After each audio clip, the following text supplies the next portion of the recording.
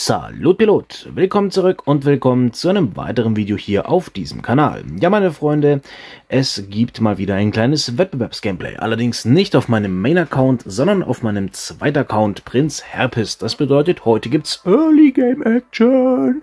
Gespielt wird, ich glaube, Lade, Ladeetage oder Kontrollbereich. Bin mir gerade nicht ganz sicher. Ihr werdet es ja dann im Videotitel sehen.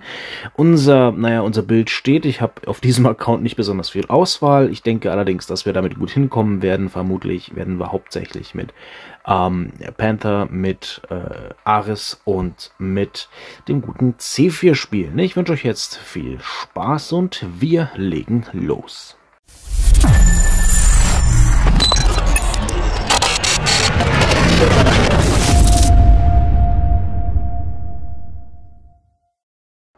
So, jetzt schauen wir mal. Wir haben äh, Mr. Hyde. Mr. Hyde ist ein echter Spieler. Sehr cool. Wir gehen rein mit unserem Panther und gucken mal, was wir hier so reißen können. Early Game Gameplay, mein Gott, das habe ich ja schon ewig nicht mehr gemacht. Gut, wir schmeißen direkt unser Netz, gucken mal. Also die Arc Torrents, die sind ja im Early Game sehr, sehr gut auf jeden Fall. Selbst die 6er, ihr seht, wie schnell man hier alles wegbrutzeln kann. Also das ist natürlich dann kein Vergleich zum Endgame. Das sind, oder da fallen die Arc Torrents wirklich wesentlich schwächer aus. Fürs Early Game allerdings noch wirklich, wirklich empfehlenswert. Deshalb habe ich sie auch direkt auf Panther ausgerüstet. Ist eine Kombi, die würde ich hier im Endgame niemals zocken. Aber fürs Early Game reicht's. Mr. Hyde ist auf jeden Fall weg. Wir sind 3-0 in Führung. Oh Gott, ist das süß. Shadows. Ha. da werden Erinnerungen wach. Menschenskinder. Für mich persönlich ist das wirklich, ähm, ja, was, Mortar? Auf der Map? Ernsthaft? Okay. Okay. Kann man mal machen. Ähm, jedenfalls ist das für mich wirklich eine Reise in die Vergangenheit, kann man so sagen. Also das ist, ähm, keine Ahnung, ich spiele das Spiel jetzt ein bisschen mehr als zwei Jahre, mir kommt es aber schon vor, als würde ich schon seit zehn Jahren spielen oder so. Fast schon unwirklich, äh, gegen was und mit welchen Kombis man hier momentan spielt. Das ist ähnlich wie früher tatsächlich, ne? Sehr, sehr cool. Äh, nur, dass sich natürlich äh, die Bots teilweise ein bisschen unterscheiden. Ja, Jedenfalls sind wir jetzt äh, 8 zu 2 in Führung gegangen. Aktuell mit seinem Mortar wird er da hinten nicht viel reißen. Oh, jetzt haben sie uns unseren äh, Panther weggehauen. Jetzt schauen wir mal, ich denke, als nächstes werden wir mit Ares gehen. Dem haben wir die Ember Guns draufgehauen. Das ist jetzt nicht ganz Free-to-Play. Ihr wisst ja, mein äh, Prinz Herpes Account, äh, der ist darauf ausgelegt, so ein Low-Pay-Account zu sein, wo man ein bisschen was payt, aber halt nicht viel. Ähm, Genau, also die Ember Gun 6 sind natürlich sehr, sehr gut im, im, Early Game, insbesondere halt dann, wenn man auch einen Piloten dafür hat und entsprechende Implantate, da reichen auch schon dann die äh, seltenen oder im besten Falle auch die, die epischen dann. Ich habe jetzt hier tatsächlich gar keinen Piloten drauf. Und da sind wir auch schon gestorben. Das war jetzt nicht so zielführend, was wir hier veranstaltet haben. Hatten wir überhaupt irgendeinen gekillt? Ich glaube einen. Ne? So, dann gehen wir mal los mit unserem... Oh, okay, ist schon vorbei. okay, erste Runde wurde für uns entschieden. Wir gehen wieder direkt rein mit Panther. Ah, den habe ich mir ein bisschen schick angemalt. Oder war das die Standardlackierung? Ich glaube nee, ich glaub nicht, dass das die Standardlackierung war. Bin mir gar nicht mehr sicher. Ich glaube, ich habe die alle mal angemalt im Hangar. So, ihr seht, wie schön es hier mit den Arctorrents geht. Äh, da habe ich auch einen Piloten drauf. Ich weiß es gerade allerdings gar nicht, ob ich da Implantate drauf habe. Müsste ich tatsächlich mal gucken, denn ich habe meinen Hangar halt so, wie ich ihn irgendwann mal vor ein paar Monaten aufgebaut habe, stehen gelassen und war ja auch sehr, sehr lange nicht mehr auf dem Serpis aktiv. Das heißt, ich habe auch vor dem, dem Gameplay jetzt gerade gar nicht geguckt, was auf dem Piloten drauf ist oder so. Ich hätte vielleicht auch die anderen ähm, Mechs mit Piloten ausrüsten können, selbst wenn keine Implantate drauf sind, dann hätten wir auf jeden Fall noch mal ein bisschen mehr Damage äh, und Health gehabt. Aber naja, jetzt ist es halt so, wie es ist. Den Shadow haben wir auch direkt weggebrutzelt. Wir haben noch 9,9k Leben und da ist er noch im gelben Bereich. Also so süß. Ich kann nicht mehr. Ah, okay, 7 zu 4 steht es für uns. Blaze is my dog ist da hinten. Okay. Der Gegner spielt jetzt auch Panther. Oh, oh, ei, ei, ei. Jetzt hat er mich aber weggebrezelt hier mit dem Cryo Launcher 8. Ist natürlich eine Sache, die gab es früher nicht. Die Waffe ist ja relativ neu. So, dann gehen wir mal rein mit unserer Ember Gun. Da steht 8 zu 6. Wir haben noch circa eine halbe Minute. 8 zu 7 wird auf jeden Fall knapp. Äh, mal gucken, ob wir hier noch einen etwas größeren Vorsprung raushauen können. Ich finde, man kann sich im Early Game tatsächlich wesentlich freier bewegen. Ähm, das finde ich cool. Also, so wie ich jetzt hier rumlaufe, das kannst du im Endgame eigentlich nur mit Eclipse bringen. Na, oder vielleicht mit einem Search und dass du dich da so nach vorne pirschst. Aber mit einem mit Tank oder mit irgendeinem regulären Mech im Endgame so nach hinten zu laufen, wie sich gerade macht, das funktioniert nicht. Du stirbst sofort. Ohne Gnade. Na, das ist hier noch ein bisschen dankbarer. Auch hier sterbe ich jetzt natürlich, oder? Nicht? So, nein? Ah. oh, aber die Runde ist schon vorbei. Okay, wir haben gewonnen. Sehr schön. Ich bin First und Second MVP. Zweite Runde. Schauen wir mal. Wir haben äh, gar keinen. okay, kein Spieler. Ist jetzt hier eine reine Bot-Lobby. Ähm, egal, wir gehen trotzdem einfach mal in die Runde rein. Ich hatte schon lange kein Bot-Game mehr, äh, während den Aufnahmen tatsächlich. Ähm, gut, ich gehe mit äh, C4 los. Schauen wir mal, was der ein guter Boy mit seinen Shotguns hier so leisten kann. Aber ich gespannt wie ein Regenschirm. So, bis dann ist er der gute. Was haben wir denn hier eigentlich? Ein Guardian kann das sein? Tatsächlich, das ist ein Guardian. Aber letzte Runde hatten wir keine Guardians, ne? Kann es sein, dass sich die Bots hier recht schnell ändern? Was für Shit. Okay, ähm. Hm, hm, hm, hm. Den Guardian haben wir auf jeden Fall weg. Oh, da unten, sehr schön. Und, und, kriegen wir den, kriegen wir den. Nein, er hat ein Schild aufgebaut und ich muss nachladen.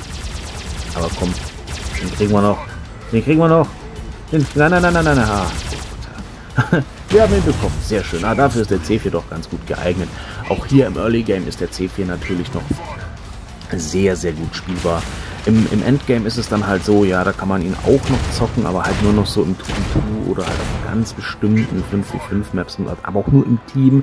Also ist nicht mehr das, was es mal war. Der CK war wirklich ein sauguter Mech auch im Endgame, aber das ist jetzt schon lange nicht mehr. Aber schön, dass er fürs Early Game auf jeden Fall noch funktioniert. Oh, da guck mal an hier. Da bin ich gestorben. Wurde gecancelt wie ein Mann sozusagen. ja, von einem Ares mit Shotguns. Jetzt gehen wir rein mit unserem äh, Panther.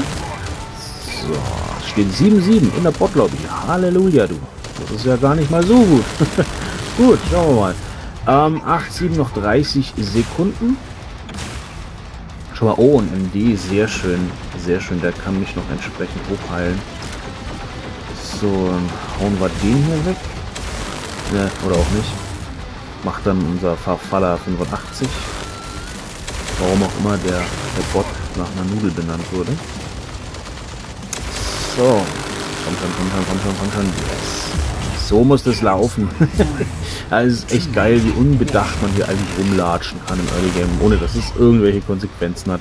Ab und zu wird man mal weggeschossen, aber bis das passiert, äh, oh, jetzt habe ich gerade genommen, das wollte ich eigentlich gar nicht. Egal. Ähm, bis das mal passiert, ist echt Weihnachten. Ja, das Problem ist halt, dass die, oh, jetzt habe ich auch noch daneben geschossen, dass die EM-Rival tatsächlich auf dem Low-Level, auf dem ich sie habe, die ist dann noch gar nicht so effektiv, obwohl man eigentlich meinen könnte, dass die halt im Early-Game nicht reinklatschen muss, aber, ähm, nein, tatsächlich nicht. Ihr seht, ich bekomme nicht mal einen Shadow-One-Shot weg. Nicht mal diesen Low-Box-Shadow, ähm, brauche ich echt zwei Schüsse für. Also, deswegen spiele ich den auch relativ selten eigentlich. Ähm, vielleicht, wenn ich ihn einen Rang höher habe, dass ich dann zwei kleine draufpacke oder so, aber keine Ahnung, ich habe ich hab ja nur die 16er aktuell. Ich hätte mir jetzt auch die 12er kaufen können noch für 7 Euro, aber das habe ich nicht gemacht. Da war, da dachte ich mir so, nee, nee, jetzt, jetzt noch nicht. Ne? Es steht übrigens 3-2, das heißt 4-2, okay, jetzt führen wir doch okayisch, sage ich mal, trotzdem nur zwei Kills Unterschied. Das Ganze geht noch, naja, aber das werden wir schon gewinnen, wir meinen uns da keine Sorgen. Also es ist schon ein bisschen eine Umstellung auf jeden Fall aufs Early Game wieder zu gehen. Äh, ist aber, denke ich, auch mal ganz interessant. Es wurde ja auch immer mal wieder nachgefragt, ob ich mal ein Gameplay auf Prinz Herpes machen kann. Und ich hatte Lust im Urlaub. also habe ich das mal eben gemacht. Ähm, ursprünglich hatte ich auch ein, ein Video zu Piloten aufgenommen auf Prinz Herpes. Allerdings habe ich mir gedacht, nee, äh, ich mache das Video nochmal geskriptet, weil das erste Video war ungeskriptet. Und es war mitten in der Nacht deswegen es von vielen Gähnern durchzogen worden ist.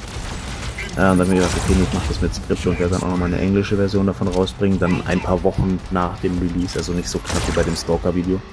Äh, einfach weil, keine Ahnung, die Aufrufzahlen hat es jetzt nicht beeinträchtigt. Beide Videos, das deutsche Stalker-Video und das englische, haben beide, ich glaube, 355 Aufrufe jeweils. Äh, aber ich denke, es kommt besser, wenn dann ein längerer Abstand dazwischen ist. Wirklich mal so ein Monat dazwischen oder so. Ich habe auch dieses, dieses, oh, wir haben ja, mehr dazu im, äh, in der nächsten Runde dann. So, Runde Nummer 3. Wir spielen gegen Matschko. weiß man den so ausspricht. Wir gehen rein mit Panther und schauen mal, was der Typ so kann.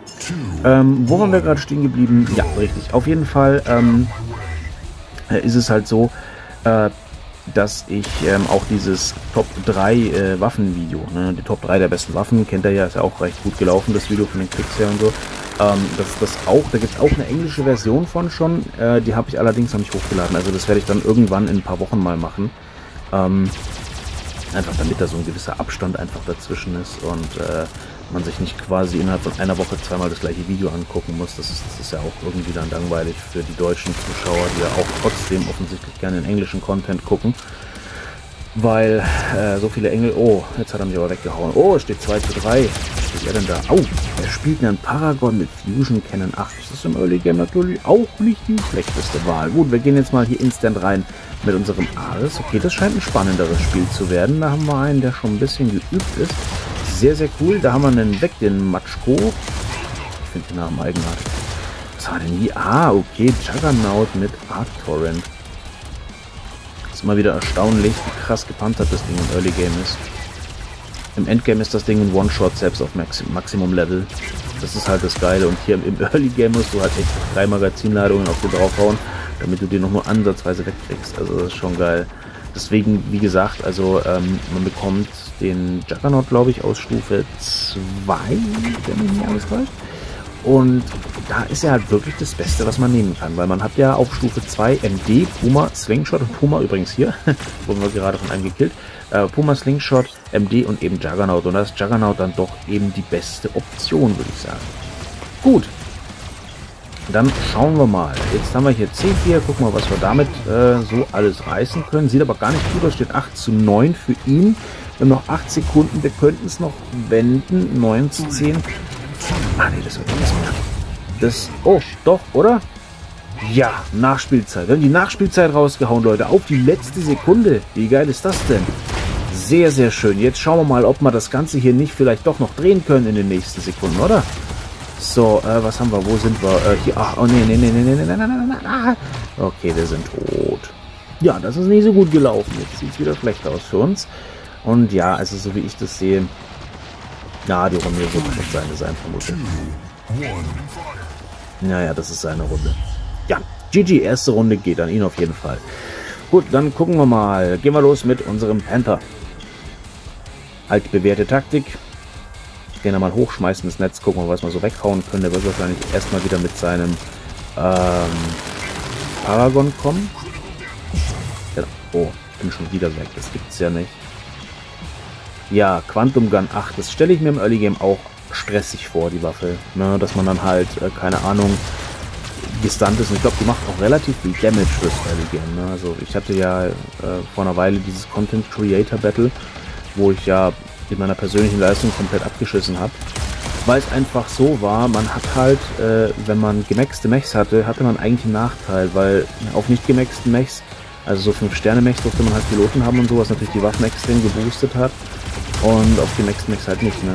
Ja, außer halt auf Ares und Aegis, die ich aber nicht genommen hatte. Und das war lustig, aber es war nicht sehr effektiv auf jeden Fall. Aber diesmal scheint es besser für uns zu laufen.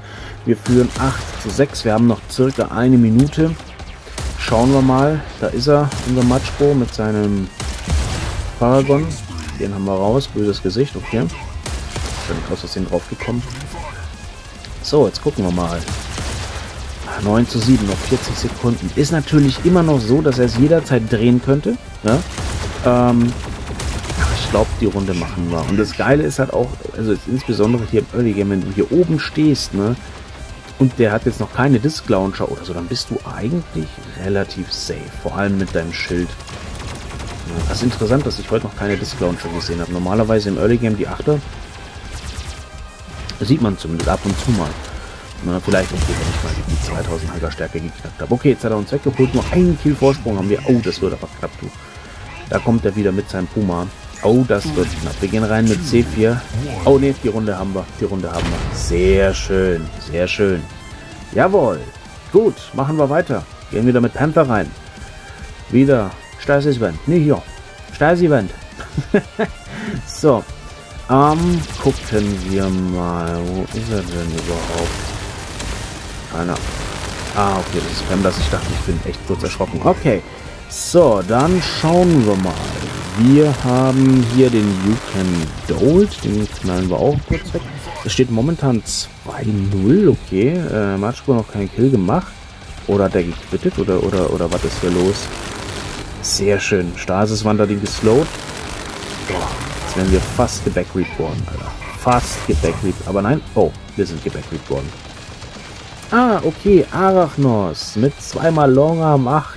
Der Klassiker aus dem Early Game. Man kennt es. Ja. Haben wir damals auch gespielt. Das ist also ganz, ganz am Anfang. Also Arachnos äh, ist kein Mech, den ich empfehle. Ne? Den könnt ihr am Anfang äh, in einem Derby freischalten. Es geht zwei Wochen, dann habt ihr den Mech gratis. Der hat halt von Anfang hohe Lebenspunkte, hohe Energiekapazität. Das ist auch in Ordnung. Den kann man auch ganz früh im Early Game spielen. Relativ effektiv sogar eben hier auch mit den, mit den äh, Long Arm 8. Ne? Das ist eine gängige Kombi. Aber, ähm, ja, wie soll ich sagen, später dann ist der komplett nutzlos. Also wenn ihr mal so die 2-3000 Hangerstärke habt, bringt euch der Arachnos überhaupt nichts mehr. So, wir sind jetzt gekillt worden und gehen jetzt auf jeden Fall weiter mit unserem C4. Es äh, steht 8 zu 6. Das sieht jetzt gar nicht mal so schlecht für uns aus. Nur noch 18 Sekunden. Also wenn jetzt hier kein 9 zu 7 wenn jetzt hier kein Wunder geschieht bei unserem guten Kollegen Matschko, dann haben wir das Game tatsächlich für uns entschieden. Und da ist er tatsächlich. Weg haben wir ihn geholt und das ist das Aus für ihn. Er kann hier in dieser Runde nichts mehr reißen. Und wir haben auch diese dritte und letzte Runde für uns entschieden. Ja, gut gelaufen. First MVP, GG.